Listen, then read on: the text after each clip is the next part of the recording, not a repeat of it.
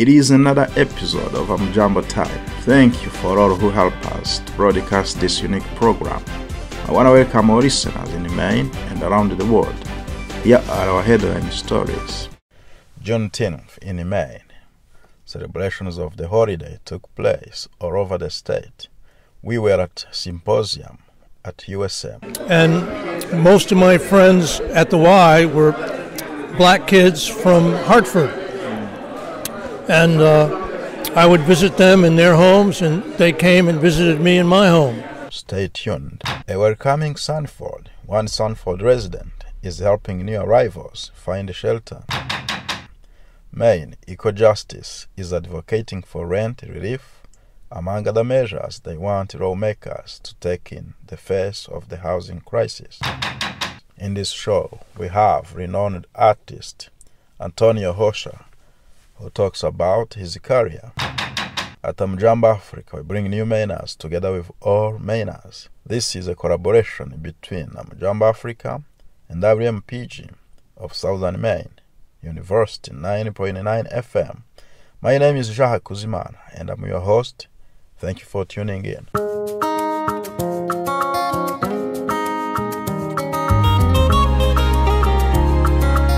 Black Americans still face challenges 160 years after emancipation and the abortion of slavery.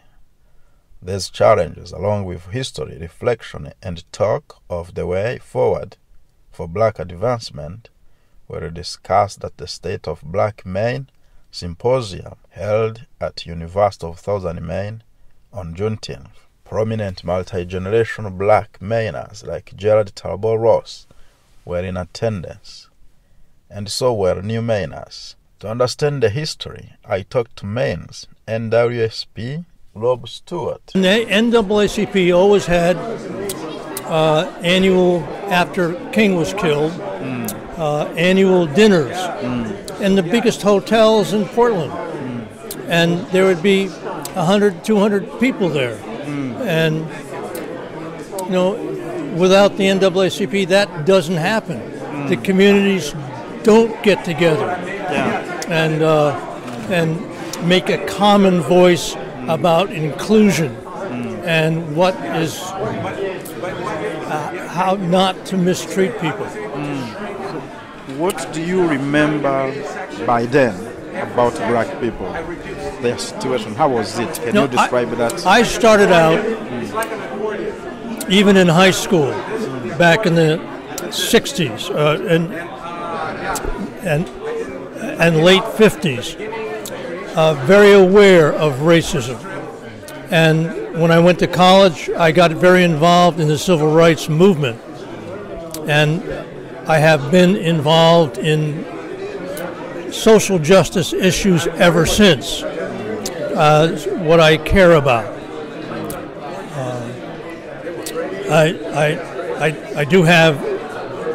You know, I, I went to college. I ended up with a PhD. I taught at Princeton for a while, and then I left teaching because I felt I was already too radical to really fit into traditional jobs, and I wanted to be building communities that made a difference and not just made money. Yeah, so I'm trying to see like um, today we are in uh, we are like 60 years after.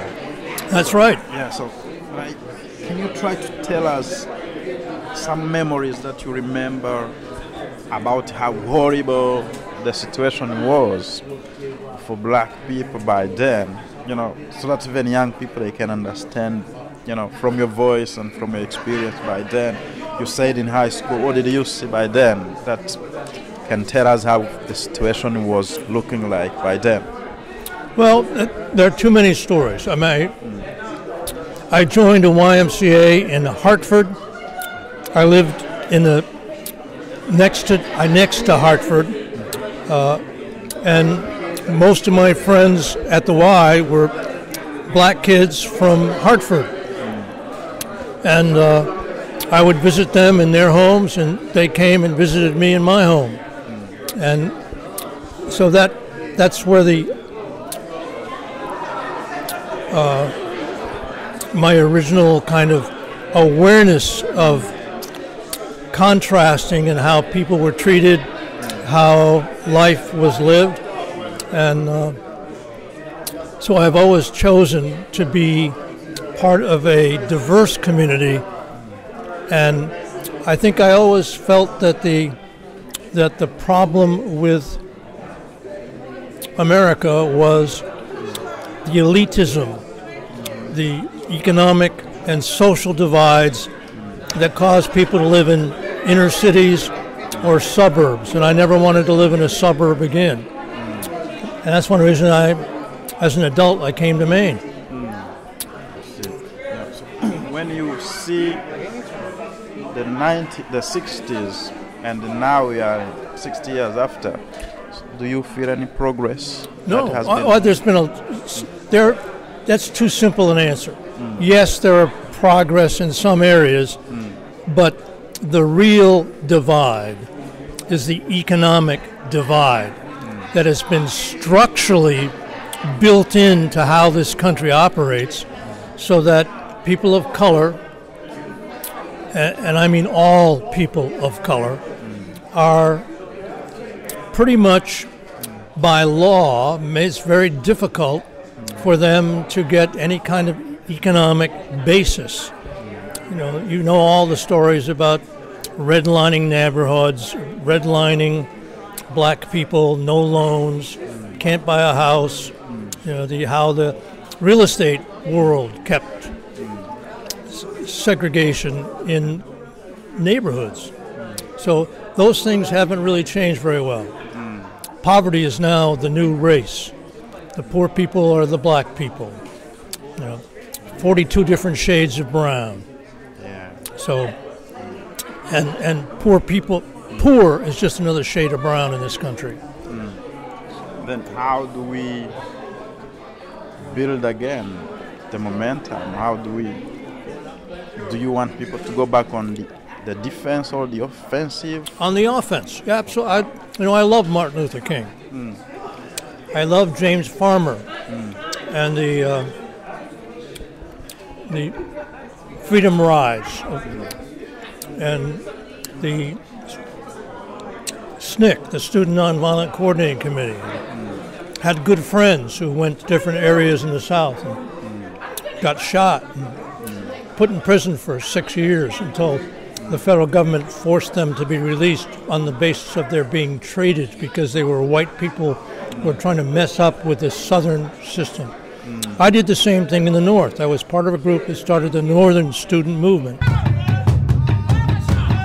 Rosa Barboza, who has her finger on the pulse of business for black people in Maine, says that black entrepreneurs still face obstacles in Maine. why we need culturally relevant resources we need this we need that we need language access etc but at the end of the day there's still a system right? There's still a government there's still structural racism. So we can do all the best job in the world but if the system that has been created for us not by us if the system that has been created for us is not also you know moving forward then there's only so much you can do right? There's only so much you can do and i think that's why organizations like Black Owned Maine are so important because we're saying you know what? That's cool but we're just going to keep doing what we're doing anyway mm. regardless of what is being presented to us. Mm. So, what are the real steps or concrete activities that you're doing, you know, like Black Owned Maine yeah. to navigate the water?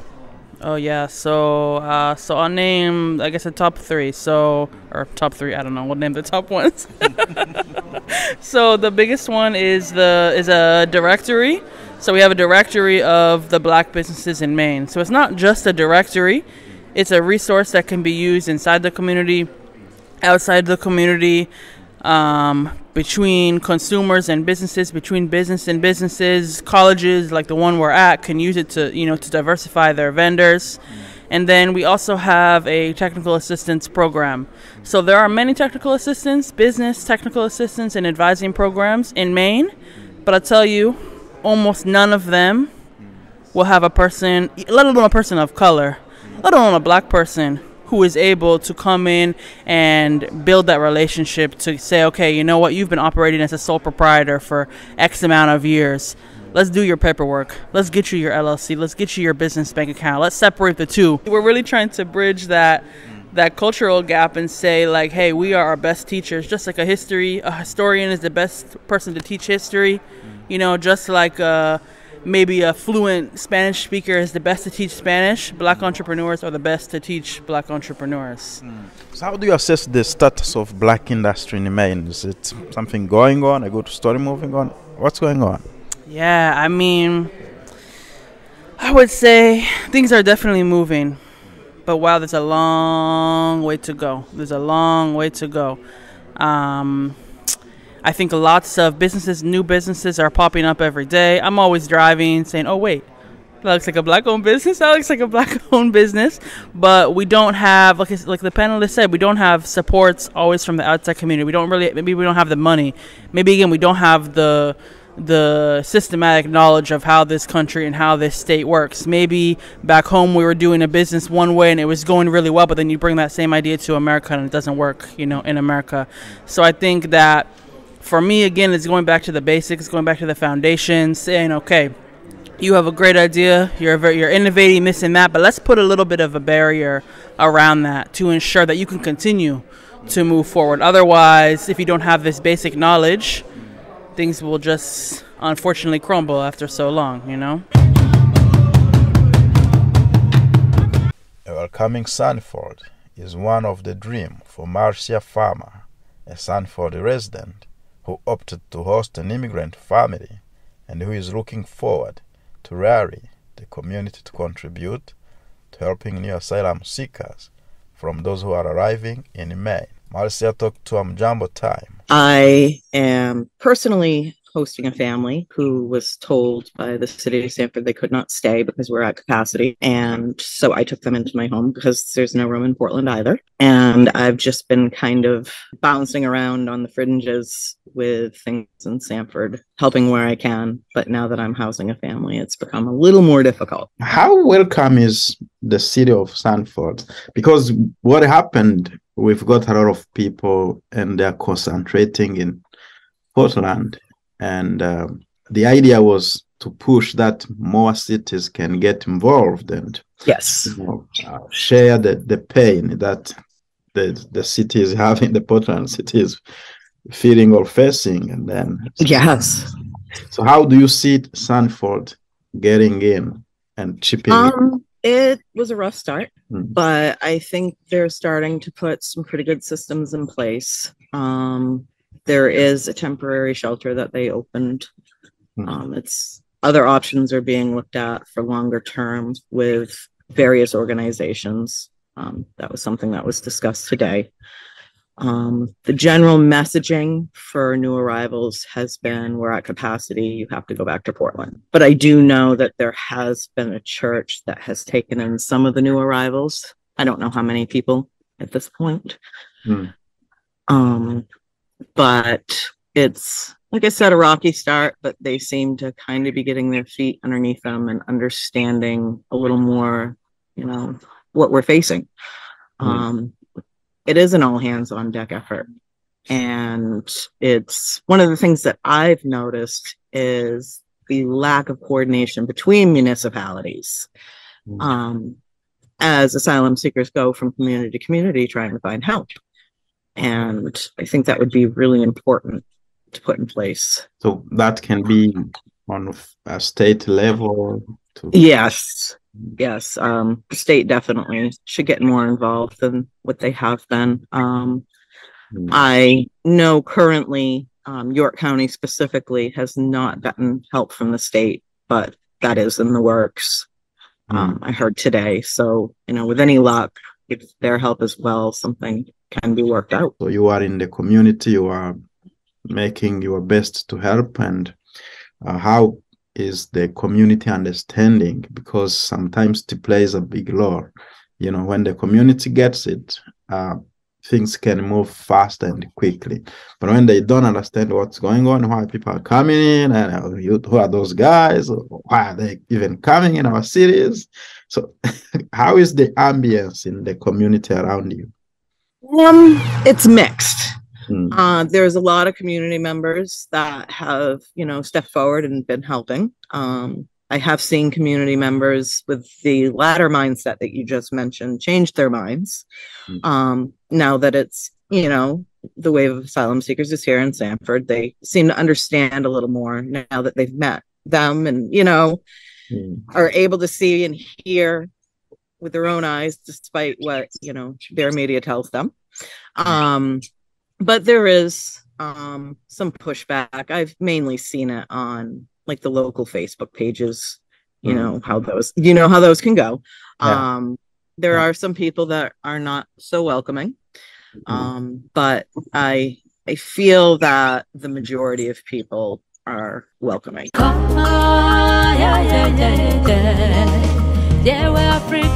Maine Equal Justice is pushing advocacy on LD 1710, the Home Act. Among the components for this bill is to advocate for a rent relief. this session has really been on Mm. LD 1710, um, also known as the Home Act, which included many things. Um, but one of them that we're really lifting up still is that is rent relief. Um, so rent relief is really needed to bridge the affordability gap for many low income renters. Um, as we've seen, as the emergency rental assistance program was really widely used by people all across the state, um, from Presque Isle to Portland. Um, and so, unfortunately, LD 1710 is tabled and it will be carried over to the next session. Um, but we are still advocating very hard for rent relief to be included in the budget Mm. right now. And we would encourage anybody to reach out to their legislators um, and tell them how important rent relief is. Mm. So, can you explain it into wider terms, that relief that you're mentioning? You know, uh, so what do you intend to accomplish? And uh, of course, you mentioned that people can call, can participate. You can also elaborate more on that, how they can reach out. Is, is it safe? Everyone can reach out, and uh, yeah, you know, from asylum seekers to every group that you want to mention. So there are some other solutions happening for housing right now um, that are included or being included in the budget. Um, and those are really important pieces for housing. It includes building more affordable housing. It includes a housing first model, which is a program for individuals who experience chronic homelessness, um, which would cover roughly 600 individuals in Maine. And it has funding for emergency shelters. Um, but the budget does not currently include a solution for people at or below 30% of area median income in Maine. That's kind of this like odd term area median income that we use, but it's a um, a sort of guidepost of how we determine um, people's eligibility based on their family size and their income. So 30% of AMI in the state or area median income translates roughly to $21,000 for a family of three, which I think everybody knows is really not a lot or enough money um, to cover all of your needs, including uh, the really high rates of rent right now. Mm. So this rent relief would provide um, it would make up the gap between what's affordable for people and usually affordability is determined at paying 30% of your income um, towards rent. And then th- this rent relief would help make up the rest of that gap to what you actually owe. Um, why this is so important in this moment is because of those other pieces that are already included in the budget. They're capturing these other categories of people for the most part. We've got housing first, which is going to capture people facing chronic homelessness. Mhm. Um, we've got funding to build more affordable housing, which we know is very much needed in the state.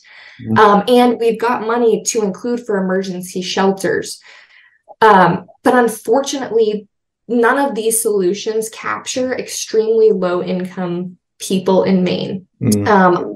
The affordable housing that's built is actually not affordable to the most low income Mainers in the state. Um, Mm. it only captures down to a certain extent, but people, as I mentioned, at or below that 30% of area median income rate won't be able to afford affordable housing. I often hear people say, well, we don't have enough housing as it is. So where do you expect people to use this rent relief? Um, and what I frequently say to people is that we have a lot of people precariously housed right now.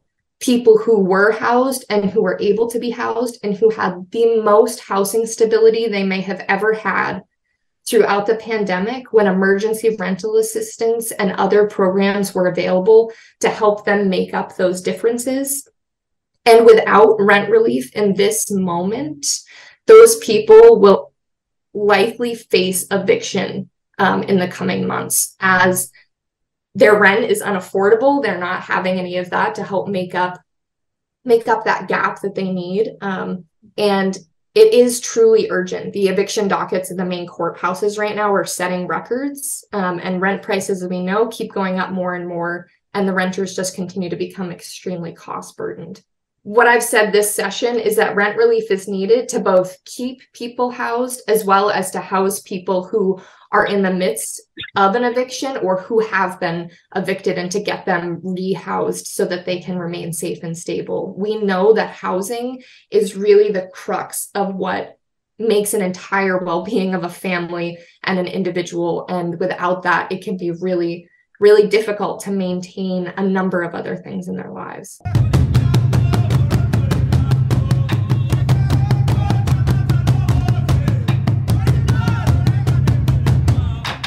Full-time performer artist Antonio Rocha is known in Maine and around the world.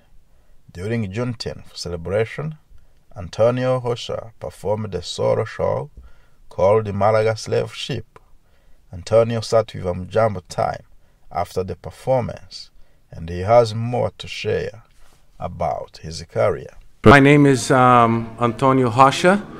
It spells R O C H A, but it's pronounced Hasha, and uh, like Russia with an H, mm-hmm. Hasha. Mm. I come from Brazil. I've been in Maine for 35 years, wow. and I am a um, full-time performer, mm. and I mix a combination of movement, mime, and verbal narrative, and I've been performing it my entire adult life. I have several stories in my repertoire. I have various topics. I have environmental topics, um, topics of tolerance and respect. I um, performed a lot for young audiences, so I have a lot of uh, stories, folk tales that connect with curriculum in various schools, right? But I also have a, a, a repertoire for adults, which are some of them are very funny, some of them are not. Um, but these stories are told to adult audiences, mm. and they vary from comedy pieces about situations I found myself into, but it's not stand up. Mm. They're just f- funny stories of things that I, I have to face as a human being. Yeah. And then I have some uh, uh, poetic, uh, toned stories about my parents' childhood in Brazil, my childhood in Brazil. And uh, so I have a lot of folk tales, as I mentioned, from Africa and uh, South America. And I also do historical stories, such as the one I did today the slave ship called Malaga. A slave ship called Malaga is um, its Maine history, its Brazilian history, and its personal history. Can you tell us the most memorable moments of your career? Uh, oh, I have many so memorable moments. Mm. Um, One that performing for the coming. yes, mm. performing for the Kennedy Center was a very memorable one. Mm. What happened? Uh, I, well, I performed at the Kennedy Center. Where did you perform? How was the audience? The audience was great. Yes, it was great. Yeah. And my first performance at the National Storytelling Festival. That was huge. Wow. Uh, the National Storytelling Festival is mm. over 50 years old, mm. and you perform in front of 2,000 people, 1,500 people, mm. you know, mostly adults, and mm. and it's a it's a career-making event in Tennessee. Mm. And to be a storyteller and be invited to be featured there mm. is a huge career moment. Really? Yes, huge career moment. Mm. Um, so that was amazing when I did it for the first time in the year 2000. So I want to see how you think about the art to counter the narrative that is against the black slavery, but also to, to convict the opinion uh, of those who are still, you know, skeptical. So the, the push to deny the history comes from fear. If there is no fear, if there is no push and no awakening to the fact that these things happen, there wouldn't be anybody trying to hide it. So the hiding strategy, the denying, uh, denying strategy of many, is a symptom that a lot of people are waking up to the fact that it happened. So it is a good sign, actually, when you think about it. You know, it's like, do you want to promote something? Try to hide it. Deny it. That, try to deny it. Be as loud as you want. Mm. Go for it. Mm. Say it didn't happen because the more you say it didn't happen, The more the more people are going to say They're going to read books. They're going to create stories. They're gonna it's now it's like if you want to promote a good books, say you should be burned. Everybody's going to read a book. So you see, the, it backfires big time. the Uh, art is going to come in full circle. Yes, yes, and uh, so I feel very honored. It's a, it's a, it's a, it's a. s- I feel honored and touched that I've been presented with this, with this story, and I am able to touch people's minds and hearts through the telling of it. Yeah. And it's uh, it, and and I do everything I've done in the 30 years I've been performing. I, uh, you know, well, more than 30. I've been in Maine for 35 years, and I started performing in Brazil. So I've been performing for like 37 years. Call your leaders, call your children. Be united for the peace and your children's welfare. An army of Africa shouldn't be an African. You Africa. We have come to the end of today's Amjambo time. Thank you for tuning in. Please keep an eye on WMPG and the Amjambo Africa website for a podcast of this show and more news we are covering in Maine. And remember, Amjambo Time alternates with our newest show, Wiriwe Maine, on air in Kinyarwanda and Chirundi on alternate Wednesdays at 7 p.m. and available by podcast at amjamboafrica.com and on our YouTube channel. Stay tuned for news about Bonjour Maine, our newest podcast out soon to be broadcast entirely in French. Amjambo Time is brought to you by Jaha Kuziman. Have a great day. To Africa,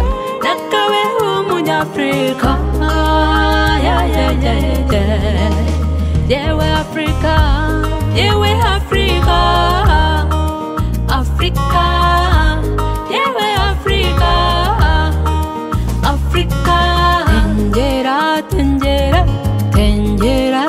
Africa